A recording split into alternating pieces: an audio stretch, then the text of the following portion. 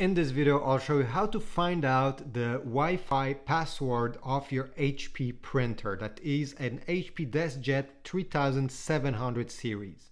Any HP printers that are looking just like this one will work the same way. This one is a 3772, but you know, whatever model you have, if it looks like this, I'll show you how to do it. So let's get started. Well, first you need to load some papers in the paper tray, at least two of them.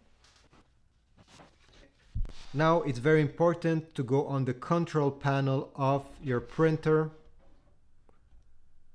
Make sure you have a small icon here that looks like this button. If you don't see it, just press once on this button and it will appear. From now on, I want you to take two fingers and you're gonna press on this I button and on the button that is on the right side of this I button, this one. I'm gonna press, keep them pressed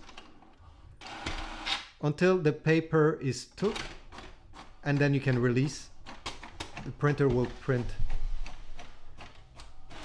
some documents here. Let me show you.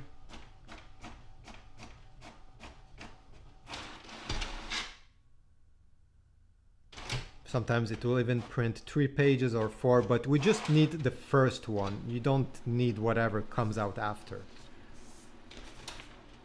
So this is the first page that got printed. It's the page that says HP network configuration page. Go down on it until you see Wi-Fi direct, okay? Then look over here and you should see Wi-Fi direct password one, two, three, four, five, six, seven, eight. Maybe yours is different. This is the only way to know by printing this page. And you'll have your password and you'll be able to connect directly uh, your smartphone or your computer if you want to use your uh, printer this way.